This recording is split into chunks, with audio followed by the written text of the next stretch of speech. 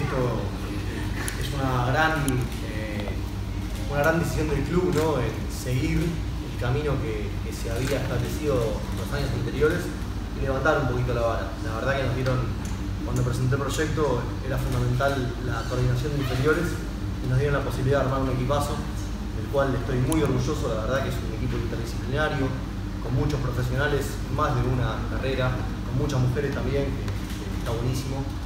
Y nada, la verdad que exjugadoras, la mayoría, eso me, llena de orgullo. Después, bueno, tocó el desafío de conformar el plantel, que a nuestro criterio era muy corto, y por suerte eh, conformamos un plantel a la altura de las circunstancias. Eh, nada, me llena de orgullo que, estas dos instituciones hayan podido colaborar, hayan podido juntarse y obviamente se genera una sinergia donde misión, misión y valores coexisten y bueno, nosotros con Maca somos productos de la UBA y ahora estar acá la verdad que es un hermoso orgullo. Orgullo.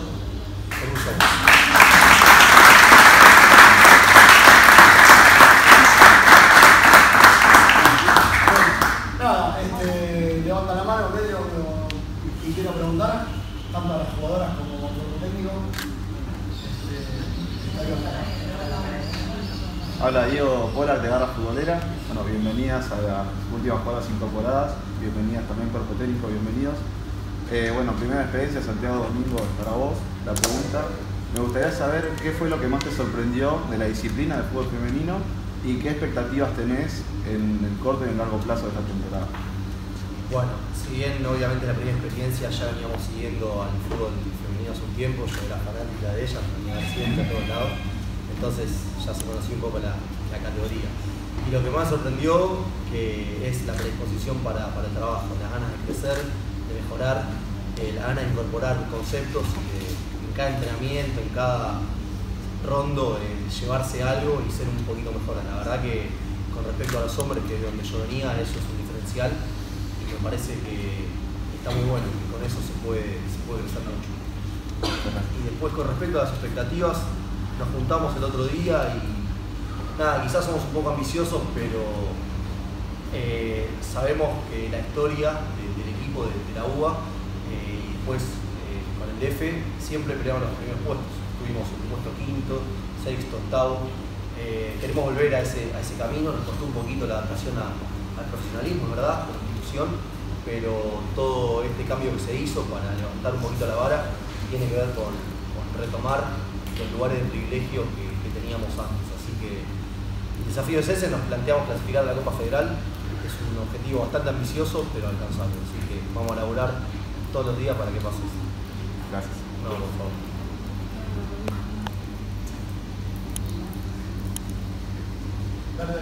Eh, buenas tardes, eh, bueno, felicitaciones por, por la presentación. Quería hacerte una consulta, eh, principalmente sabiendo que es un plantel joven, eh, cuáles son los objetivos justamente para este torneo y después quería preguntarte cuál es el estilo de juego que querés pregonar para este comienzo del torneo. Hermosa pregunta porque lo más lindo es hablar de fútbol, la verdad que. Eh, el plantel joven tiene que ver con el proyecto del club. Nosotros apostamos mucho a las divisiones inferiores y entendemos que, se haya hecho profesional el torneo hace tres años. De alguna manera se están repartiendo pecheras. Si conseguimos laburar bien en, inferiores los próximos 4, 5, 6 años, eh, club va a ser mucho más fuerte.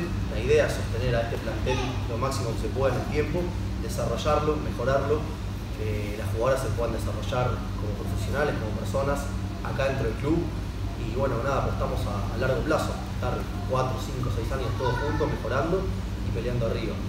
Y bueno, eh, el estilo de juego, nosotros queremos ser protagonistas en todas las canchas, obviamente entendiendo y conociendo nuestras limitaciones y sabiendo que ser protagonista no significa atacar, a veces también hay que defender. Eh, queremos imponer condiciones, ser un equipo pragmático, que presione bien, que presione medio, que presione alto, que presione bajo, que tenga mucho y quiera la pelota y sobre todo que sepa aprovechar los momentos, aprovechar y leer los momentos de los partidos. No, por favor. Melu. Eh, una más para la parte física y otra después para Maca. Primero, eh, torneo largo, este, y te la eh, Torneo largo y se ve mucho que los barrios se terminan ganando desde lo físico, eh, pretemporada, cómo se manejó, ahora encima de buscar el martes después de un parate de tres semanas, eh, un poco complicado y con lo que decía, ¿no? un plantel entre la juventud y la experiencia que seguramente se trabaje distinto, bueno, un poco cuál es el, eh, la expectativa y la, visión para la parte física, de vuelta, pensando también que es un torneo eterno.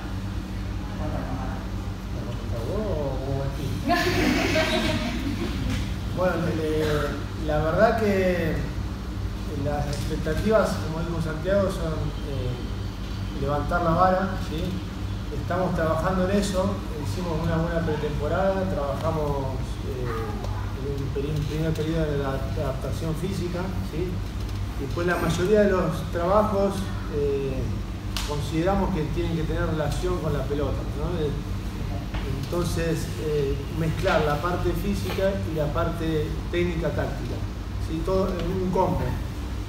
Y bueno, eh, estamos en eso, estamos tratando de cambiar hábitos, estamos trabajando con nutricionistas que están aconsejando o encaminando a las chicas para el hábito de un profesional no solo es el hecho de venir a entrenar eh, la tarde, dos horas, sino que es, todo el día, que es ese entrenamiento invisible que muchas veces decimos que es eh, lo fundamental, porque uno entrena, se desgasta y después tiene 22 horas para recuperarse. Entonces, bueno, la alimentación es un punto muy fuerte, el descanso.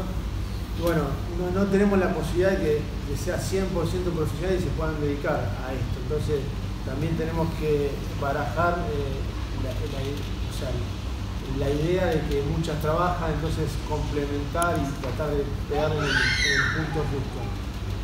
Estamos eh, en eso, ¿sí? es, el, el, amateurismo al, profesionalismo es un abismo, entonces tratamos de ir eh, paso a paso, no, no saltear eh, escalones, porque quizás podemos cometer errores y, las chicas lo pueden sufrir, porque el físico te, lo cobra todo. Entonces, creemos que vamos bien, progresivo, creemos que a fin de año vamos a estar mucho mejor. Ya mejoramos desde octubre que arrancamos el proceso, mejoramos bastante y bueno, es, eso, es tener paciencia, eh, eh, cambiar los hábitos y que, bueno, concientizarse de que, bueno, hoy están en DF ¿sí? y que esto se está expandiendo de una forma exponencial muy grande y que el día de mañana pueden vivir de esto. Entonces eso es lo que le decimos a ella. Que bueno, ser profesional implica eso, 100% volcado a la profesión, 100% a lo que comen, 100% a lo que trabajan. Y bueno, que en algún momento se le abre el, paraíso, ¿no? Porque hoy está acá y mañana puede estar en cualquier equipo ganando bien. y Maca, bueno, primero qué felicidad tenerte de vuelta en el fútbol femenino laburando, eh, quienes estamos hace un tiempo realmente lo agradecemos un montón. Eh, me imagino la emoción, pero además me imagino que debes tener algunos objetivos como muy puntuales, ¿no? Para desarrollar en este del fútbol femenino que damos un paso para adelante y cinco para atrás. Eh, quería saber un poco eso, cuál era tu panorama y esos, por lo menos algunos objetivos. Sí, la verdad que estoy muy contenta. Eh, a Santi lo conozco hace mucho tiempo, nosotros compartimos eh, muchas cosas en la UBA y bueno, cuando me llamó ni, lo dudé. siempre quise estar ligada al fútbol femenino del lado que me, que me toque y me parece que mi último tiempo como jugadora me sirvió para, como decís vos, establecer esos objetivos, saber qué me hubiese gustado a mí como jugadora eh, que pasara. Entonces, mi objetivo, y lo hablé con Santi, eh, es ese más que nada, a ver en qué las puedo ayudar a ellas para, que puedan desarrollarse, que a veces es una pata que falta, me pasó en muchos equipos. Eh, entonces, la idea es eso eh, me parece que generar un canal de comunicación cambia muchísimo cuando entran a la cancha y que ellas estén conformes y contentas con, una contención también, también es importante. Y bueno, más que nada ese es el, objetivo que yo tengo. Y bueno, la verdad que las chicas me recibieron muy bien y estamos trabajando. Gracias. Quería preguntarles cómo es el laburo interdisciplinario, ya que es un plantel joven que dice que trabaja este nutriéndose de las categorías formativas. Bueno, ¿cómo es ese laburo interdisciplinario de ustedes? ¿Cómo, cómo se maneja? Bueno, como todo equipo, obviamente lleva un tiempo ¿no? que la dinámica sea la óptima, pero cuando lo pensé, este grupo, la idea es que bueno, Maca esté en coordinación de inferiores. Obviamente cuando entramos nosotros nos da una mano con absolutamente todo. Nacho es el profe principal, que nos ayuda a planificar y, armar todo. Eh, está Fer, que es entrenador de arqueros, pero también es profe, entonces nos da una mano en la, en la ejecución. Está Fede, que es videoanalista, pero también es profe, entonces los días que viene nos da una mano. Espi, que está en reserva, también es profe y los días que no entrena en reserva entrena con nosotros.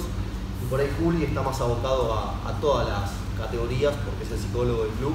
Obviamente sabemos que el proceso integral es fundamental, pero tenemos que primero hacer base en primera, que es hacer un equipo fuerte y,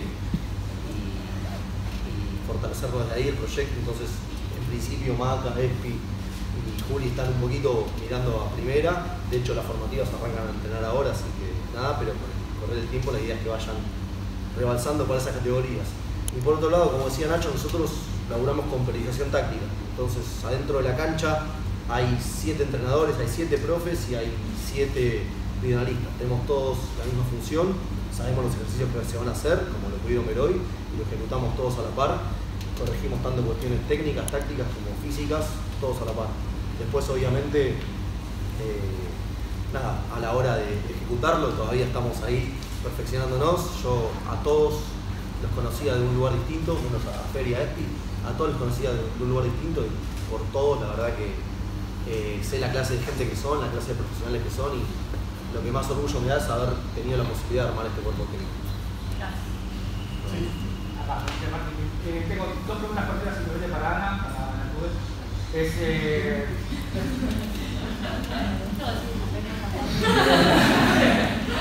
no, a ver, eh, seis y medio sin jugar, bueno, contra el chino, por el estado de salud. Eh, ¿Qué pasó con tu cabeza en ese periodo? Y la otra es justamente ahora al volver, ¿cómo te sentís y cómo se siente volver a jugar y ahora más como profesional? Eh, bueno, eh, sí, ahora, ah, No, no, no. Eh, eh, sí, ahora estuve tres años sin jugar. Eh, ¿Qué se me pasó por la cabeza en aquel momento? Que nunca más iba a estar acá. Me voy a empezar a pensar. Eh, básicamente sí. De hecho, no iba a volver a jugar. Me acuerdo en aquel momento que uno de los DT me dijo, bueno, resolvelo y volver. Y yo no, no, no se resuelve. De hecho, en aquel momento no era algo que digamos, resolviera. Y con el correr del tiempo, por otros motivos tuve que operarme. Y cuando, incluso después de operarme, tampoco pensé que volvía. Eh, pero por un tema de que pensé que ya estaba de alguna manera. Y entonces, ¿qué se me pasó en aquel momento? Real, o sea, mucha pena porque, como dijo él, se estaba armando algo muy bueno acá, era, hacía todo profesional, digamos, de repente teníamos una institución, había como otros estén y yo tuve que dejar de jugar. Y cuando decidí que volvía, básicamente fue porque empecé a jugar al fútbol de vuelta, fútbol 5, fútbol 8, lo que jugamos todos. eh, y en un momento dije, yo necesito algo más. O sea, no sé, me acuerdo que gané un torneo y dije, no, yo necesito algo más. Y la había dejado de seguir a Pony, no le cuenten, pero... Dejé- bueno, me pasó eso, dejé de seguir a las, las que jugaban conmigo porque no podía ver que había gente que jugaba al fútbol y yo no. La volví a seguir. eh, realidad te seguía, te había gustado. Eh, y empecé a ver todo lo que estaba ella haciendo y dije, che, esto sigue. Si Pony puede. Si Pony puede. esto sigue, empecé a ver toda la movida que había a nivel de DF y demás y dije, bueno, vuelvo para ver si por lo menos puedo entrenar. Sabía que para mí esa cornisa era como muy, muy grande porque dije, vuelvo a entrenar y no me va a gustar entrenar y no jugar y existía la posibilidad de que yo no pueda jugar. Volví a entrenar, volví justo cuando estaban como con el cambio de cuerpo técnico eh, y cuando hubo un parate yo me bajé porque ahí volví a decir, no me van a dejar, ¿para qué seguir? Y un día me sonó el teléfono y me llamó Santi y me dijo, vas a, vas a jugar y entonces dije, bueno, que- o sea, no podés perder nada, así que empecé a entrenar de vuelta. La realidad es que va a sonar un poco que todos van a decir, pero es un cuerpo técnico que para mí tiene un montón para dar y es la primera vez que yo, en mi larga trayectoria por edad, no tan larga desde lo futbolístico, pero que veo un cuerpo técnico tan sólido y digamos tanto respaldo desde la institución y el grupo para mí también tienen, o sea, lo que dijeron, hay mucha, mucha mezcla de edades, mucha mezcla, hay gente de un montón de provincias de repente, que yo tengo que aprenderme de repente los nombres de todas, Eh, y son todas muy piolas, a mí me recibieron muy bien, eh, aún sin saber, digamos, que yo jugaba o no jugaba, hacía aparecía acá, por qué aparecía así a, a jugar acá sin ¿Por qué venir a todos? ¿Por qué tanto? Porque había gente que me quería. Eh, y nada, me animé a ir a lo de Fui, me estaba indicando que sí, y tampoco lo voy a creer. Así que ahora con muchas ganas de, de volver a jugar, un poco lo hablaba con Juli, posiblemente no sea la, la jugadora que era en aquel momento, seré otro tipo de jugadora, eh, pero mi idea es encontrar la forma de, de sumar al equipo, yo sé que el equipo tiene un montón de cosas para dar y en eso es, es volver a, a ensamblarme y volver a jugar. Así que hoy yo feliz, no tengo mucho más.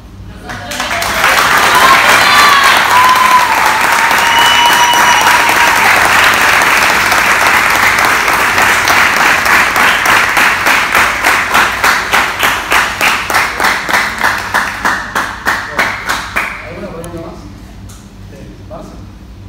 Eh, espera que me, me, me autofijo. Sí, eh, yo quiero hacer eh, una pregunta para la futbolista y en realidad eh, es un poco para el cuerpo técnico eh, y para las chicas también que quieran responderme.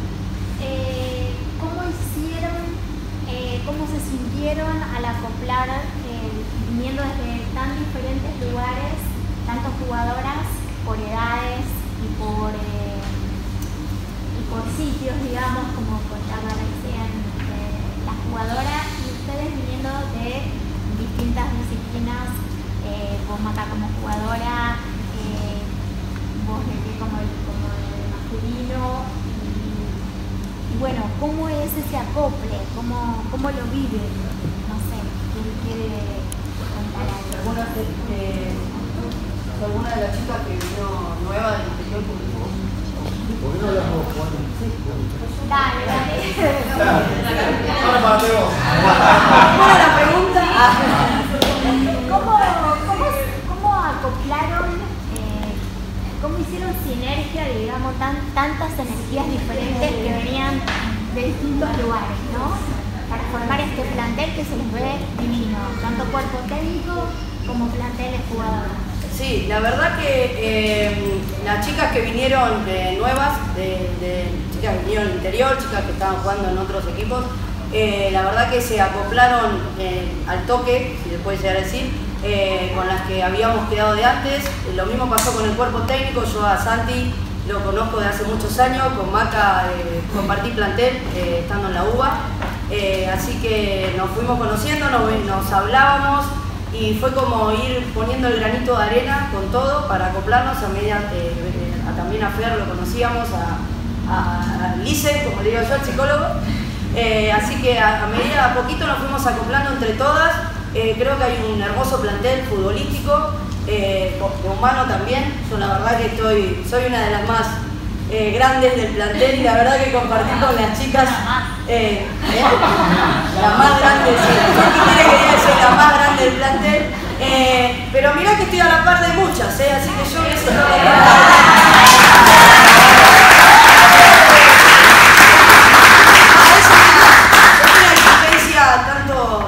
personal, es una exigencia para mí estar laburando a la par de ellas, porque si no te, te comen. Y al mismo tiempo aportar eh, la experiencia a las chicas también. Así que la verdad que yo como referente me siento orgullosa del plantel que se formó, del cuerpo técnico. Así que apostamos a este 2023 eh, a lo máximo.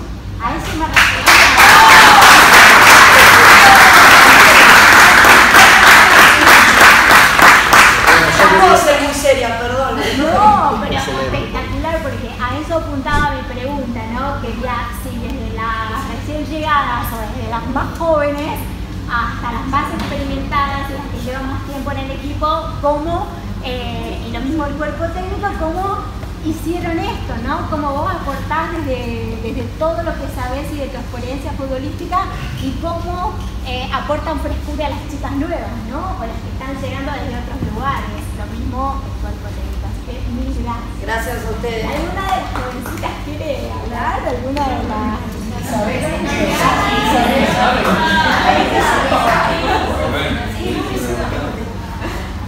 Bueno, yo quizás como una de las más jóvenes también del plantel, eh, intento aprender eh, todos los días de los profes, de las chicas eh, más grandes, de las que vienen. Considero que todos los días hay algo nuevo para aprender, pero que ya dijeron casi todo y yo personalmente estoy para dar lo mejor. Por suerte pudimos formar un plantel hermoso y estamos muy ilusionadas para este año, así que esperemos que sea un gran 2023.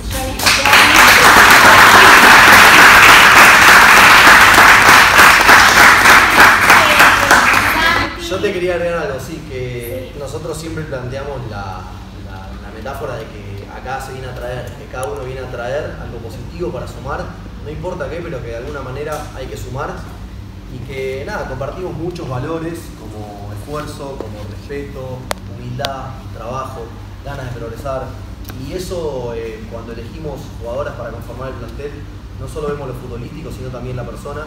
Hemos tenido casos que por ahí eh, lo futbolístico nos llenaban personal había algo que, faltaba y bueno, decidimos separar el plantel, entonces nosotros ponderamos mucho el grupo humano, eh, me tocó como futbolista eh, tener varios planteles en los que conseguir resultados siempre digo un grupo humano.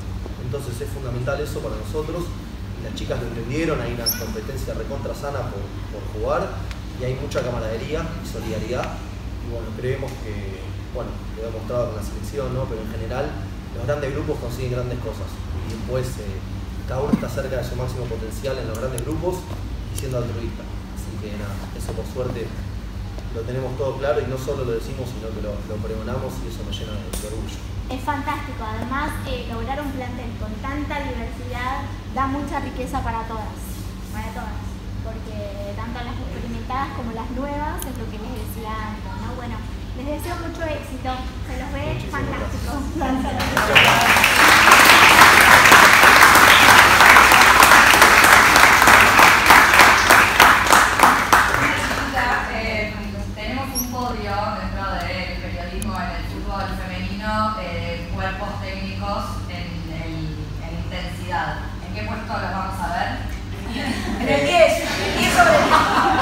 cuerpo técnico es muy amplio y no todos estamos en la misma intensidad. Yo particularmente me van a ver en 4 de intensidad, algunos en un 10.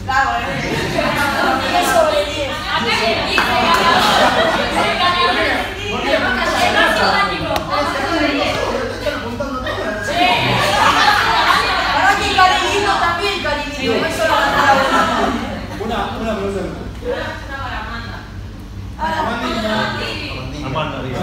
¿Cuándo te va a recibir? Si todo me sale bien como corresponde, a fin de año.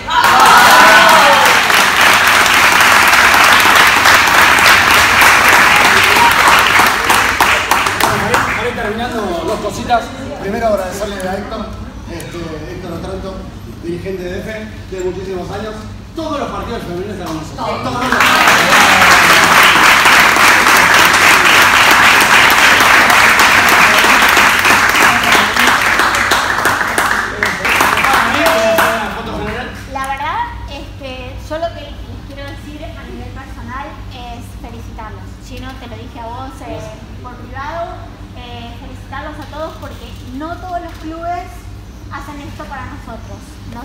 chicas van a correr. eh, sí, hashtag DF. porque de verdad, eh, yo a ellas me las cruzo en todas las canchas, eh, cubrimos otros clubes eh, que, que, dicen estar en, sí, en, en otros niveles y de repente nunca nos dieron esta posibilidad. Nunca permitieron hablar con todo el cuerpo técnico, nunca nos permitieron hablar con todas las jugadoras, conocerlas a todas, presentarlas con su nombre, decir de dónde venían, es como un secreto que tenés que estar rebuscándotelas y de repente... Exacto, ¿entendés? Porque la verdad es que ya está, están, presentarlas y además es un honor para ellas, es un, es un mimo para nosotros para ustedes. gracias, Chino. Gracias.